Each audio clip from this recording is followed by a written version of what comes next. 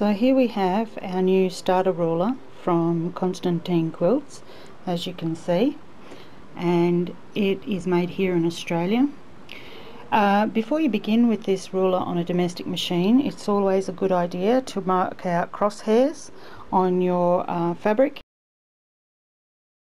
Put some stable tape on here and now I'm going to attempt to crosshatch with it so let's see how we go.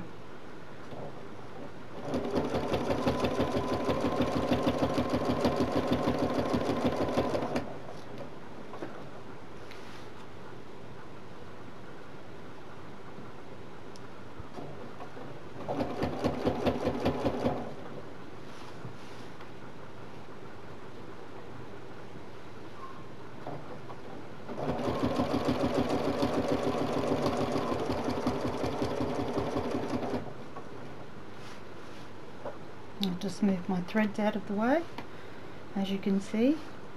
Now I'm just going to use my crosshair that is marked in the middle to move me across so that I know I'm on a straight line.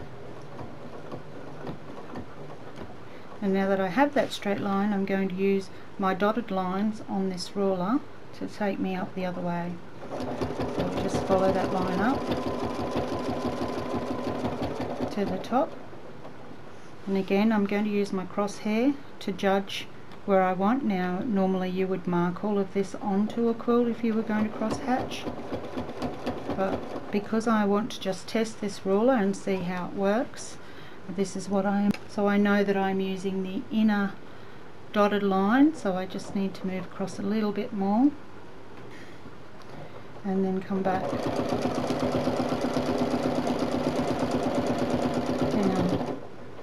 touching that line. So you can see I'm getting some nice straight lines. Again I'm just going to move over using the crosshatch line as a guide. I'm just going to move across to about there. Now I can judge that by putting the dotted line back onto this previously stitched line and then coming up. As you can see again just using the judgment of that crosshair line to move myself across and using the lines that I've previously stitched. I'm just going to come across about there. Line them up on those dotted lines. And come back down. Now because I'm working in an empty space it's pretty hard for me to figure out if I'm actually going to be cross hatching to the top exactly where I would normally finish. Um, there is a marked line here, but other than that, that's all I've got. So I'll just turn it around now, and I'm going to come back in the opposite direction. And I'll just come back here, all the way along, as you can see, in a straight line. Now I'm going to use this side of the ruler to push myself along the line and I'm just going to use it to judge where I need to be to cross hatch back the other way. So let's go back here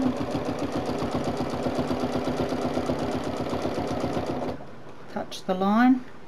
Move up the line. Now you could turn your ruler to actually guide you up this line if you wanted which I think is probably a very good idea with this ruler it's really handy. It's got plenty of marks on it to allow you to do the job that you need to do.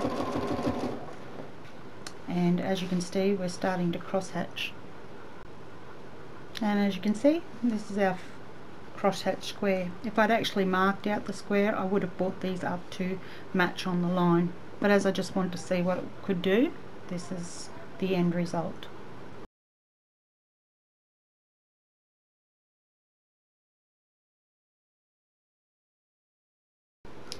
Now I've drawn in an actual square, so I'm going to move myself up um,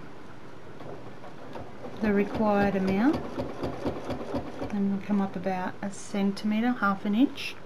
And I'm going to grab my ruler, this big, the curved ruler again, I'm going to place the curvature onto my line so that I get a centimetre or half an inch going back just go back and we will come back to this other line. Now using the straight edge, we're just going to travel up the line like so. Now remember we have our guide, we touch the top of this curvature to the top of, top of our curvature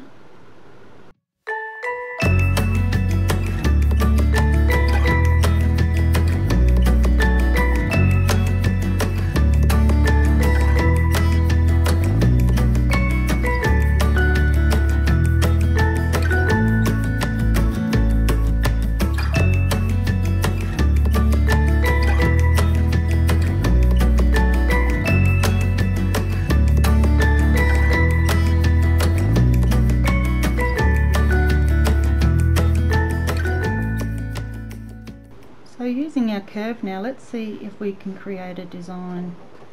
So I'm just going to come out and see if I can create a seed a seed pattern.